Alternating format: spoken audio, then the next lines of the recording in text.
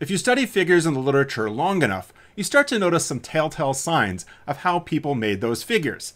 If you notice that something is made by ggplot2, well, that's probably because they've got that ugly uh, gray gridded background, or they've got the same three default colors that everyone uses, or they're using that Arial font that is pretty standard across all of figures generated in R. How do we change that font so it's a little bit more distinctive and perhaps says a little bit about your own personal style? Well, keep watching and I'll show you into this episode of Code Club. If you've been following along in recent episodes of Code Club, you know the story that I found a report from Ipsos back last winter where they were looking at receptivity of people to receiving the COVID 19 vaccine. This was before the vaccine was actually available, so the data is a little bit dated, but I thought the figure was pretty cool. So the first step was to generate this dumbbell chart uh, to stylize after what I saw in Ipsos. But as I'd mentioned, uh, I actually originally saw this figure uh, in a newsletter that came to me from Chart R. So although again it's called chart R, I don't think they use R. We are stepping through different ways of modifying my Ipsos version to the chart R version. The next step is to modify the font on this figure. You'll notice that the title and the x-axis label where it says chart R are serifed fonts. So they have those little uh, ticks at kind of the top of the H and little lines at the bottom of the A's. Those are serifs. Whereas the y-axis labels, those country names are sans serifs. They don't have those tick marks, nor do the numbers. So those are not uh, the typical Times New Roman or Arial fonts that you usually see in an R generated figure. How do we do that? Well, you're in the right place. Before we get going too far in discussing how we can import fonts from outside of R and perhaps outside of your computer, um, I want to introduce a concept to you of the font family. So there are actually four different font families that come pre-installed with R. And I'm going to come down in my code, which by the way, you can get the code I'm starting with at a link down below in the description. I strongly encourage you to follow along so you can make all the same mistakes I make and also have a version that you can play with to experiment with and certainly learn far more. So in the theme function, I'm going to add an argument I'll call text, and this is element text, and I'll do family equals serif, and then add a comma to that. And what this should do is make my entire figure have serif fonts. Now what we see is that all of the fonts in this figure, except for these number labels, which we'll talk about later, um, have a serif font. This is actually Times New Roman, and you can see like the I again has that hat, um, and the V has hats, and the A at the bottom, O, like in Australia, has lines at the bottom. Those are the serifs. The default is actually sans. And again, that is what we've been working with, is in the world of a sans serif font. The other family to know about is mono. So this then gives us a monospaced font, which is actually the courier font, and it's monospaced because each character uses the same amount of space. Think about like a typewriter, which I know you all are so young that you never typed on a typewriter, but I did back in seventh grade. Anyway, um, so this is a monospace font, and it's courier, and it looks a lot like what we were typing um, up here in our code. This is also a monospaced font.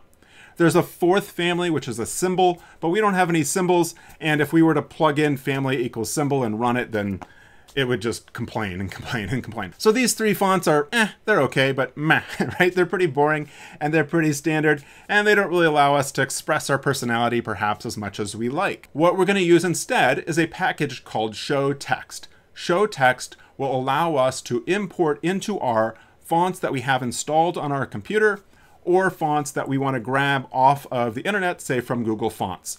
And that's what we're going to do in the rest of today's episode. To install the showtext package, I'm going to come to the lower right corner in my RStudio window, click on that packages tab, and then go to install. In that packages middle window, I'll go ahead and type in show text. Um, it will also install that showtextdb package that we also saw. And so we'll say yes. Now we've got showtext installed. And at the top of my script, where I have all my other library function calls. I'll do library showtext. Make sure I've got that loaded, and it also loads two other packages, sysfonts and showtextdb. So as a professor, I spend a lot of time writing in Arial 11 point font. Uh, that's when I'm writing grant proposals or papers, that's just what we seem to use. But if you were to click that down arrow next to the Arial, which again, I never seem to do, you'll see just a bajillion different fonts in here, right? And so all of these fonts, I guess except for the ones with the cloud and the download sign, um, are already installed on my computer. And so maybe it would be nice to go ahead and use one of these fonts in our figure. And so one that always seems a little bit interesting to me is this copperplate. So let's go ahead and use copperplate in our figure and see how we can use the showtext package to do that. So I'm going to do a little bit of work down here in the console window. So I'm going to make this a little bit bigger. I'll go ahead and clear the screen with that control L so we have more real estate to work with here. And so if I type font paths as a function, this is a function coming to us from showtext. This then shows all of the paths, the directories that include all of the font files that are on my computer. If you're using Windows, this might look a little bit different. And again, it'll look a little bit different on your computer, but that doesn't really matter because we just need to know where the fonts are. Actually, we don't even need to know that, but showtext does. And so this is saying basically that showtext knows where the fonts are. A more useful function though is to do font underscore files, open close parentheses, again as another function. This then outputs a data frame that has the names of all of our different fonts, which is pretty cool. Okay, this is a pretty big data frame with about 350 different fonts loaded on my computer. I'm gonna go ahead and take this and pipe it into Tibble so I can see it in a little bit more attractive format. So I can see the path, the file, the family, the face, the version, and PS name, I guess maybe that's PostScript. What I'm gonna do is I'm gonna take this and I'm gonna filter, because I wanna again get the, the fonts that have the word copper in it. And so I'll filter using str detect and I'll do on family. And what I'm gonna look for is copper. And again, this then tells me the path, the file name, and the family, um, and all that stuff for copperplate. So what's important to me is that I know that the file name is copperplate.ttc. So to load that font, I can then do font add, and the family I'm gonna say is copper. So instead of like mono or sans or serif, I'm gonna say copper. Uh, but then I need to tell it the name of the, the regular font. And so I can then say regular equals copperplate.ttc. Now I've got copperplate loaded as the copper family and copy it and then come back up to my script and add that family. And then I can do show text underscore auto. And what showtext auto does is it makes that copper family visible to ggplot. And then I can come back down to where I had that theme function, again, family equals mono, and let's go ahead and put in copper. We now have that copper plate font for all of the fonts in our figure, I know, except for the numbers next to the dumbbells. Hold on, we'll get there. But what we did was that, again, we loaded that family, copper, and we're now applying it to text in theme. And that's kind of the parent class of um, the figure of all of kind of the non-data elements of the figure. If I wanted to make, say, the plot.title to be family copper, I could take that family copper and then plop that in here with my plot.title in element text. And let me go ahead and comment out the text for right now. And now what we see is the title is copper plate, right? So again, we can use this family argument uh, in element text to modify that part of the theme of our figure. Now, as I mentioned, the number next to the dumbbell is not being rendered in copperplate. And that's because this is part of the data of the of the of the number, right? And so the theme function changes the non-data elements of the figure. If we want to change this number to be of the correct font, the copperplate font, we can come back up to geom text, and again, I can do family equals copper. And now our numbers next to those points are also in copper plate. Now I'm on a mission to take the Ipsos version of the chart and to convert it to this chart R version of the chart. And as you'll notice, the title is a serif font and the, the labels and the numbers are of a sans serif font. They don't exactly look like Arial like we've been using. So I now want to go about showing you how I plan on matching uh, the font in this figure, as well as helping you to identify strategies to find fonts that you might use in your own work.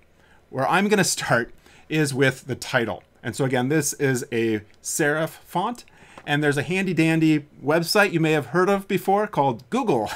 and if you go to fonts.google.com, this brings you to a website that has something like 1,100 different families of fonts that are free and clear for us to use in our work. I'm going to take this title, Vaccine Skepticism by Country, and I can plug that in here in the sentence. So vaccine. And now I see what vaccine skepticism by country looks like in these 1100 different fonts. I can filter this down a little bit by coming to this categories tab and I want serif fonts. So I'm going to turn off all these others. And now I've got my fonts. There's 228 serifed fonts sorted by trending. And what I'm going to do is I kind of look through here for the font that kind of matches uh, what we saw in the chart R version of the of the plot. And let's see this. Ah, this looks very familiar. Let me bring up our version and kind of put it next to it. Um, this does look pretty similar, right? You notice the A has a little tail on the bottom uh, and looks pretty, pretty similar. The E um, is at a slope. Um, all these parts of the fonts I know have technical names, but I'm just... The, the slope in the E, the cross piece in the E matches there. So Josefin Slab, I think that's the font we want.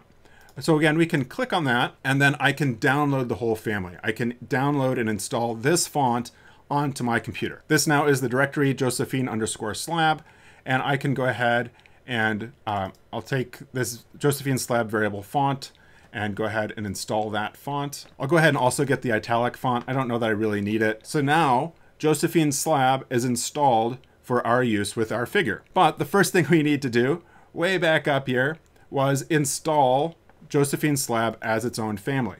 So I'm going to call it Josephine. I want to make sure I know what the file was that Josefin slab came to us in. We'll take font files, pipe that to Tibble.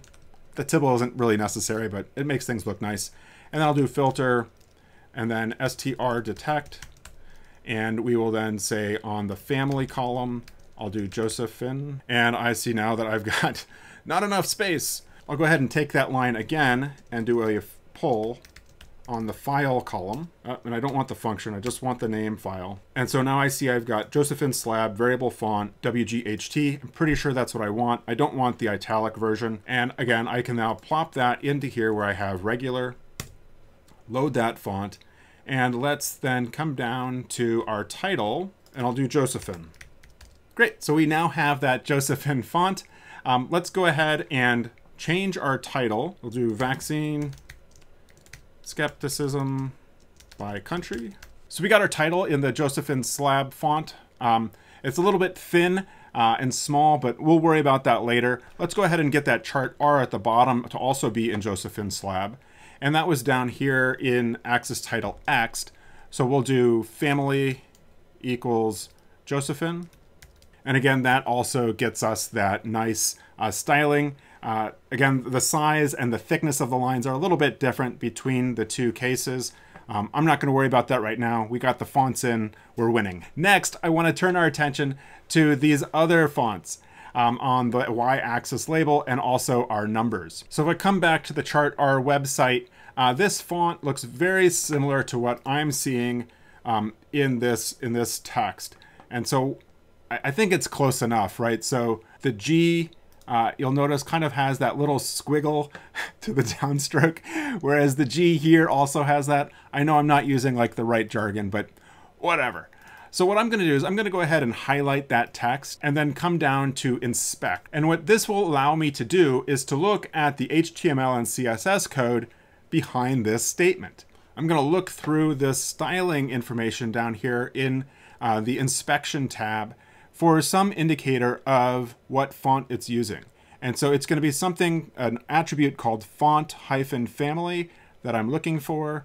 Um, so you can see there's font family here, Arial Helvetica Sans Serif, but that's all stricken out. Ah, down here we have Brandon Grotesque as a font. Now what I'm going to do is I'm going to take Brandon Grotesque and I'm going to Google for that font. Ah, so what we see is that Brandon Grotesque is provided by Adobe Fonts. Adobe Fonts is going to charge us, no doubt, to get that, and it's going to be a lot more rigmarole than I really want to deal with at this point. What I'll do instead is Brandon Grotesque, uh, Google font, and I'm looking through here for something like this. Which Google web font is the closest to Brandon Grotesque? And so this brings us to a Quora page. And so, you know, it, it kind of, this guy is saying there isn't one that really comes close. Montserrat is good. Um, but as I'm kind of looking at this top line, which is the Brandon Grotesque, and this is the others that he's suggesting, they don't really they don't really do the trick for me, right? They don't look all that great. Maybe Open Sans kind of does, but not really. I think it just doesn't look great. So if we kind of scroll down for something else, um, they found something as ca Cabin from Google Fonts. Um, I don't know. That doesn't look so great for me. Uh, but they gave an update, uh, though it's thinner. Josefin Sans. Oh my gosh. so we're using Josefin Slab. There's also a Josephine Sla uh, Sans. So coming back to Google Fonts, I'm going to go ahead and do the sans serif. And let's search for Josephine. And so we get our sans and our slab. Um, let's go ahead and work with the Josefin sans. Now, what we're going to do in this case is a little bit different than what we did with Josefin slab. The problem with what we did before, where we downloaded and installed the font and then loaded the font into our figure, is that that works great for my computer where now I have Josefin slab installed. But you would also have to go about installing Josefin Slab. That is not reproducible, right? I don't want to have a list of dependencies that includes fonts. That's just, it's a pain in the butt. What we can do instead is install a font directly from Google Fonts. And so that's what we're going to do here with Josefin Sans. So we'll go ahead and do font add Google family equals Josefin Sans. And then we will then plop in Josefin Sans. So now that went to Google Fonts and it then imported into this session the Josefin Sans um, font as the Josephine-Sands family. The problem with this approach is that you have to be connected to the internet for this to work. So as long as you're working connected to the internet or whoever uses this down the road, they will be able to add the font without having to install it directly on their computer. And I think that is a little bit more reproducible. I'm going to come back down to my theme I'll replace Family Copper with Josefin Sans, and let's see what this looks like. Yeah, I think this looks pretty good. I'm happy with that appearance. Uh, the India, the A in the India is clearly in China is different. Um, you know, whatever. the goal here really is to show how to import fonts, not to get 100% uh, faithful. If you wanted to go ahead and pay or go through the rigmarole with Adobe Fonts. Um, at that point, though, I think you are going to be installing the font onto your computer and then loading it like we did before with Copperplate, as well as the Josephine uh, slab font. Anyway, I think this is pretty good, and it's a it's a pretty close font. I think you kind of have to look really closely to notice that difference in the A, um, but other otherwise, I, I, think it looks pretty good. Um, and I'm going to be ha- I'm going to call it good. so the other thing we need to change then are the numbers in the GG text. And we saw that we could do that back up here um, in the GG text. And so I'll say Josefin Sans, And so that then gives us the Josefin Sans font uh, for the numbers next to our dumbbells. That looks really good. So that looks great. I'm going to come back up to where we installed the Josefin slab, and I'm going to do a, a font add Google here as well. And then we'll do Josephine hyphen slab. and I will then call this uh, Josephine slab. And then down here where we use Josephine, we also need to have slab. And so that was on the x-axis, and I think also the title. So that got us a bolder title. I'm not sure what exactly was happening when we downloaded and installed the font, but I think that looks a lot better. It could, of course, be bigger, um, but we're going to be manipulating the size of this plot in a future episode, so I won't touch that too much. Um, I do notice the chart R at the bottom could be bolded, so let's go ahead and bold that while we're thinking about it. And so we can then do face equals bold, and that gets us a bolded uh, chart R down at the bottom. And of course, we will want to go back through and kind of tidy things up with the size and whatnot uh, but we'll do that in a future episode. For right now, I'm really thrilled that we are able to bring in some non-default fonts to make this look quite a bit different than what you might expect looking at a figure generated by ggplot2.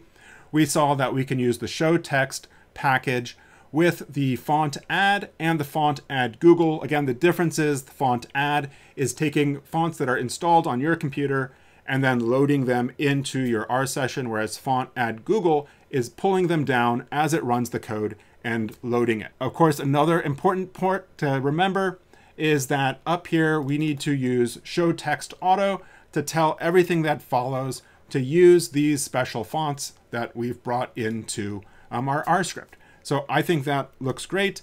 Again, there's more tweaking that we'll do down the road, but for now, we'll leave it here and we'll save all that, you know, poking and prodding for another episode.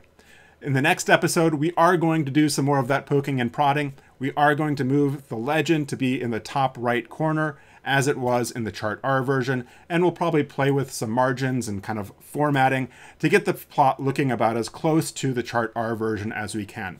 Anyway, I hope you found this useful. Let me know down below in the comments what is your favorite font. Um, and, and can you go about finding that online either to install it directly under a computer or using uh, Google Fonts. And so again, there's about 1,100 fonts up there on Google Fonts, and it's a kind of unique way to express your individuality and what you're trying to say about your data. Keep practicing, and we'll see you next time for another episode of Code Club.